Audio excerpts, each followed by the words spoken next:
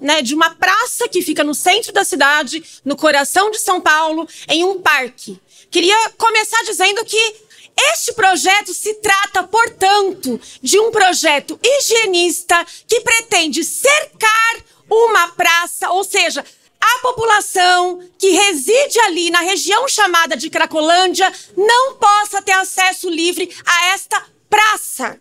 Afinal de contas, se você incentiva o uso de drogas, se você mantém a pessoa refém do crack, a gente sabe os efeitos psicológicos da droga, não apenas no usuário, mas também na família dessa pessoa, naturalmente a gente sabe que isso não vai resolver. E eu quero lembrar, Vossa Excelência, que os estudos apontam que para que as pessoas possam se curar do vício das drogas, ou melhor, reduzir o uso, porque disse que alcoólatras e usuários de drogas sempre serão usuários, é justamente estando próximos do seio da família. E quando a gente mantém um ambiente como era a Cracolândia, Índia, né, como é agora na Princesa Isabel, a gente mantém essas pessoas afastadas da família dela. E naturalmente essas pessoas encontram mais dificuldade ainda para largar o vício. Veja, o projeto de braços abertos, assim como os projetos de redução de danos, não são projetos para incentivar o uso de drogas, como o senhor acabou de falar. São projetos que efetivamente reduzem, reduzem o uso de drogas. Então, esse tipo de projeto é o projeto que São Paulo precisa. E não esse projeto que quer tratar as pessoas sem direitos humanos, tratar só com força policial. Então, vereador, eu queria convidar Vossa Excelência, como bem disse, de abrir o Google e jogar, por exemplo, Craco Resiste. Craco Resiste é uma ONG que fazia um trabalho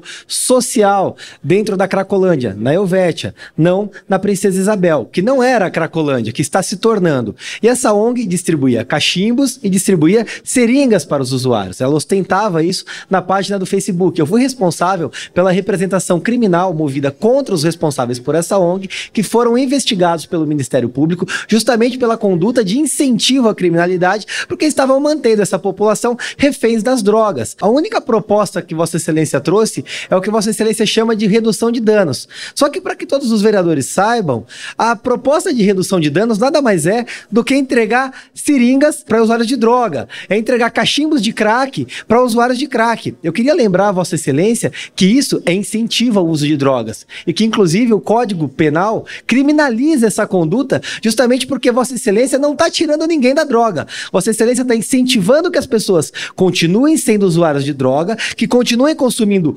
crack, consumindo é, drogas injetáveis e não propõe nenhuma solução. E que, inclusive, a população que reside nas proximidades da Praça Santa Isabel continue tendo a segurança colocada em risco, as vidas postas em risco e que as pessoas continuem ali se drogando, em um que eu chamo de uma verdadeira farra regada a drogas e dinheiro público. Já vista que a Guarda Metropolitana, a Guarda Municipal, ela tem a obrigação de dar segurança para traficante de drogas. E aí, vereadora, com todo respeito ao que eu disse semana passada, me espanta como vossas excelências têm a ousadia de semanalmente vir aqui defender usuários de droga. Quando votávamos aqui o projeto da GCM, vocês diziam que defendiam a GCM. Agora vocês estão aqui defendendo criminosos nessa casa. E simplesmente não é um projeto higienista, é um projeto de, na realidade, de segurança pública, segurança para aquelas pessoas, para a população. Eu tenho certeza que Vossa Excelência não quer pegar um usuário de crack e levar para casa de Vossa Excelência. Afinal de contas, vai colocar em risco a segurança de Vossa Excelência e de sua família. Um projeto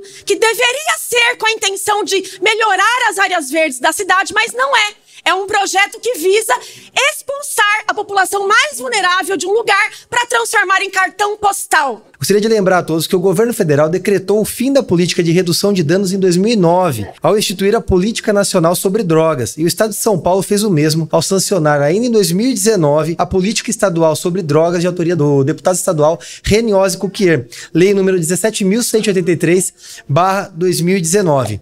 Mas o que nós temos que analisar aqui, nós precisamos separar um pouco a discussão do projeto, porque o que nós vemos é justamente o PSOL querendo impedir o fim da Cracolândia em São Paulo. É isso que está em discussão hoje. É justamente a possibilidade de cercar o ambiente, preservar o patrimônio histórico, preservar uma praça que vai se tornar parque, que é extremamente importante para a cidade de São Paulo, e ao mesmo turno descentralizar aquelas pessoas que estão ali alocadas no local, se tornando a nova Cracolândia da cidade de São Paulo. Qualquer pessoa, seja da cidade de São Paulo, Paulo do estado do Brasil sabe o impacto que foi quando era a Cracolândia na rua Helvétia. A dificuldade que foi para o Poder Executivo emplacar políticas de combate ao uso de drogas, de políticas que retirem as pessoas daquela situação de marginalização, de escravização ao tráfico, à droga, ao vício e à, à prostituição, enfim, é tudo que vinha acontecendo naquele ambiente. E depois que foi encerrado o fluxo que havia na rua Helvétia,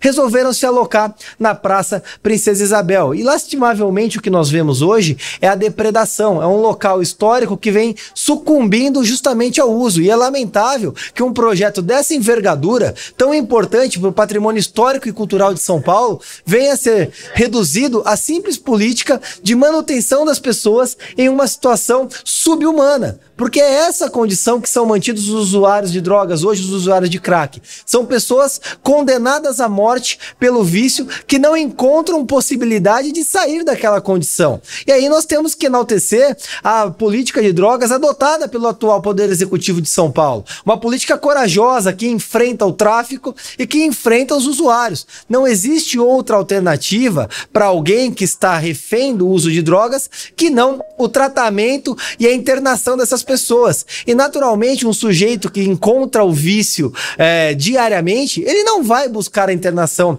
espontânea. A internação compulsória se faz necessária justamente para garantir a possibilidade dessa pessoa se curar. E estudos apontam necessariamente que a pessoa que está refém do uso de drogas, ela tem maiores possibilidades de se curar desse uso justamente quando ela está próximo da família. Quando nós temos uma região centralizada com os usuários de drogas alocados centralizados no mesmo local, naturalmente as pessoas que estão nas regiões periféricas de São Paulo estão longe das suas famílias, estão alocados em barracas, dormindo ao relento, impedidas de voltar para o seio familiar, portanto, impedidas de ter mecanismos eficazes de recuperação. Não existe outra alternativa que não impedir a aglomeração dessas pessoas. E ainda vale dizer que a manutenção das pessoas em uma praça coloca em risco os transeuntes, as pessoas que visitariam a praça, as pessoas pessoas que moram na região, os proprietários de imóveis que sofrem com a desvalorização do imóvel justamente por conta daquela situação lamentável das pessoas expostas em condições subhumanas.